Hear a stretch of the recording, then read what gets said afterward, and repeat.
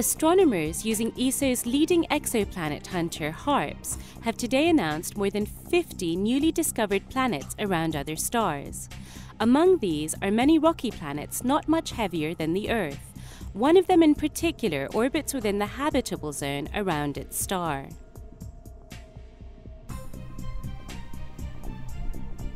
In this episode of the ESOcast, we take a close look at another major exoplanet discovery from ESO's La Silla Observatory, made thanks to its world beating planet hunting machine, HARPS.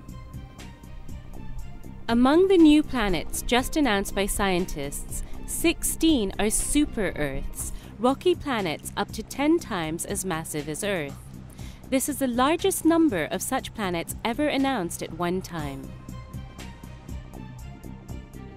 A planet in orbit causes its star to regularly move backwards and forwards as seen from Earth. This creates a tiny shift of the star's spectrum that can be measured with an extremely sensitive spectrograph such as HARPS.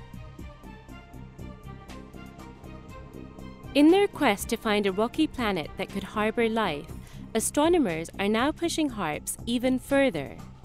They have selected 10 well studied nearby stars similar to our Sun. Earlier observations showed that these were ideal stars to examine for even less massive planets.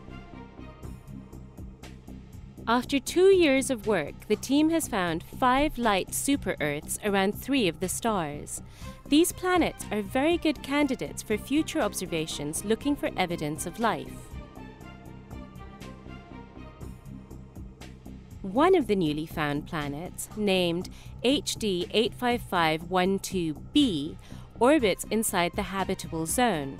This is the narrow area around a star where water can exist in liquid form. Astronomers estimate that liquid water could possibly be present on this planet if it is a rocky world that has more than 50% cloud cover. By looking carefully at the results from the first eight years of HARPS observations, the team has found that around 40% of stars similar to the Sun harbour at least one planet lighter than Saturn. These new results lead astronomers to believe that they could soon find more super Earths in the habitable zones of their stars with HARPS. These planets will be great targets for powerful future telescopes to try to study their atmospheres looking for evidence of life. Thanks to HARPS, the search for another Earth elsewhere in the galaxy is picking up pace.